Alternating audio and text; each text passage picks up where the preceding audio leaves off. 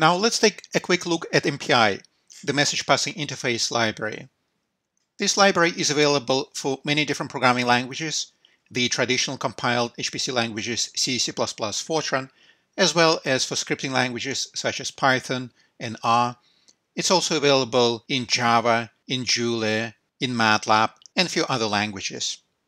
The general idea of MPI is that each processor will run exactly the same copy of the code, and then different processes will exchange information via messages, usually via the interconnect, the network between different nodes in a cluster, or via shared memory if two processes happen to be on the same node. Here is a simple pseudocode that shows how two processes can exchange information in MPI. Let's imagine two processes. Processor 0 has variable A and processor 1 has variable B. At the very beginning, each process will run an MPI function to find its current rank or its current ID. If the rank is 0, it will send this variable E to processor 1.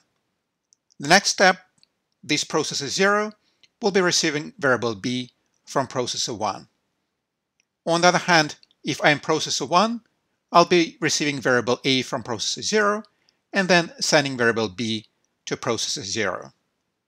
Here it's important that we have pairwise messages. We are sending on one processor and receiving on the other, and vice versa. If we modify this code to switch the order of send and receives, let's say on processor number one, then on each processor we'll be sending first and then receiving next. And this modified code might work or might not work at all, depending on the MPI configuration.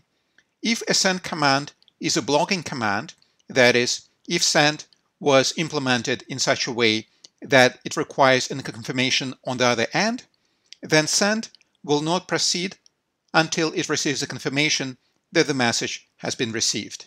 In that case, if we have send on processor 0 and send on processor 1 being called first, this program will deadlock. That is, both processes will be busy sending a message and checking multiple times a second that the message has been received. But there is nothing to receive the message on the other end because a receive command can only run when the send command completes. This is an example of a deadlock. If you SSH to a node that is running one of these MPI tasks and you do top, you will see that this task typically consumes 100% of CPU resources, and that means that the CPU is simply busy checking for the receipt confirmation. If each processor is running a receive command first and then a send command, then this code is guaranteed to fail because there is nothing to receive until a message was sent. This is example of point-to-point -point communication in MPI when you have two processes exchanging data.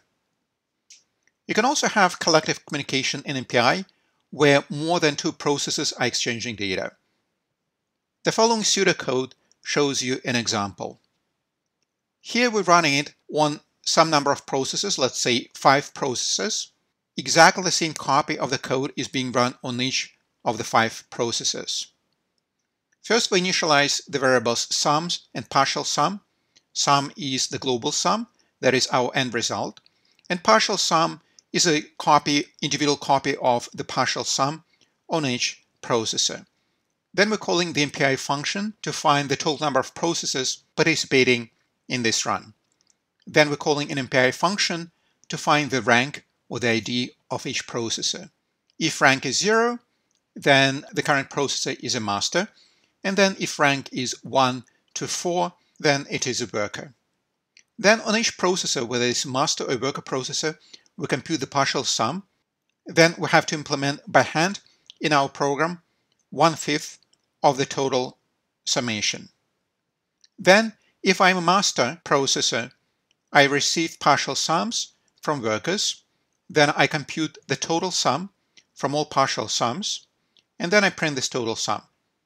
Else, if I'm a worker processor, so my ID is from 1 to 4, then I'm sending my partial sum to the master processor.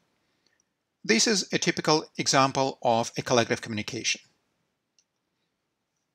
This table shows you various topologies of communication you can have in MPI. Here we have a very simple example with uh, just four processes. In the first example, first line, we have a pair of send and receive commands. This is the usual point-to-point -point communication. Here we have a variable A on processor 2, and then we're sending it from processor 2 to processor 3. Processor 2 will call MPI send, whereas processor 3 will call the MPI receive command. If two processes are exchanging information, then you have two options. Either you can call a pair of MPI send and MPI receive commands on each processor, or you can call a single MPI send receive command that will change variables between processor 2 and processor 3. Variable A will be sent from processor 2 to processor 3, and variable B is going to be sent from processor 3 to processor 2. The next line is MPI broadcast, and here we have a single variable stored on processor 2 is going to be broadcast to all other processors. MPI gather is the opposite operation when you have individual variables on each processor and then all of them are being gathered on a single processor.